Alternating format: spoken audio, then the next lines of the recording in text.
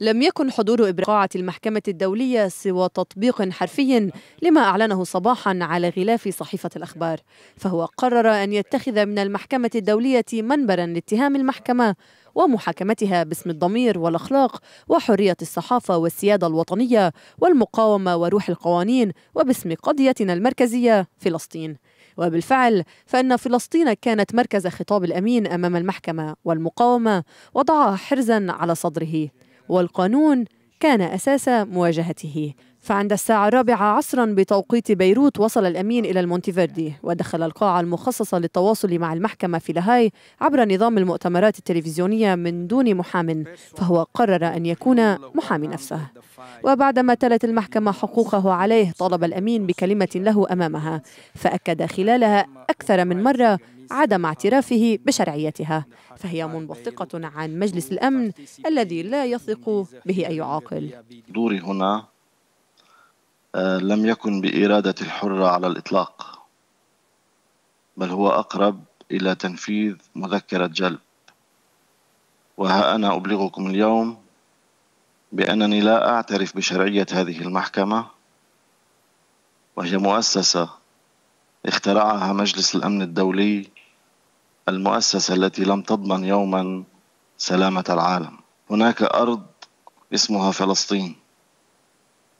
لا يزال شعبها هو الوحيد على وجه الكرة الأرضية الذي لا يحق له تقرير مصيره بينما ترتكب كل الجرائم بحقه.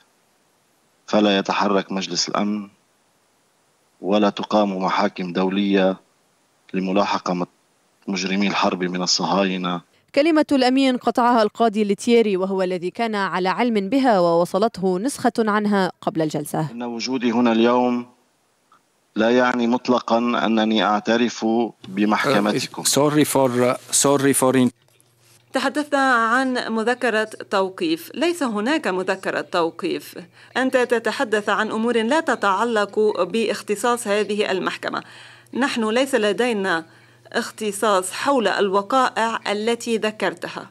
عندها وبحسب الأمين فإن هواجسه كانت في مكانها وأكد أنه سيمثل نفسه والشركة في جميع الجلسات وسوف يلتزم الصمت دائما. أبلغك أنني ألتزم بحقي بالصمت الكامل.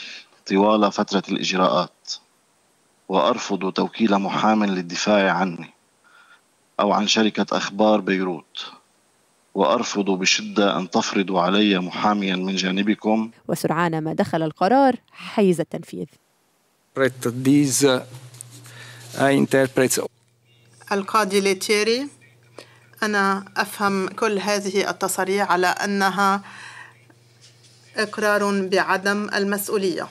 وبعد دقائق عدة رفع الأمين الجلسة. آمل أن يسمح لي بالعودة إلى منزلي الآن. القرار لك أنت تتمتع بالحرية الكاملة. ما الذي تريد أن تفعله؟ أريد أن أنسحب.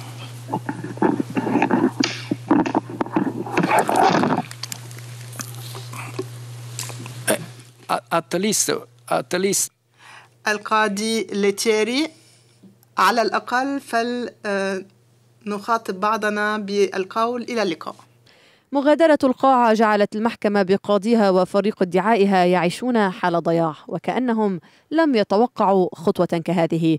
وكيف لهم وهم لا يعرفون للحرية معنى بل وظيفتهم باتت اليوم قمع الحريات. نتخذ تدابير لتعيين محام آه، بصفة مؤقتة أو بصفة دائمة حتى نتمكن من مباشرة الإجراءات. فريق الدفاع ركز على ضرورة احترام قرار الأمين بعد تعيين محام فطال النقاش بينه وبين القاضي ليطلب الأخير بعد جدال مطول تعيين محام للأمين. أطلب تعيين محام لتمثيل المتهم ولمعاونته.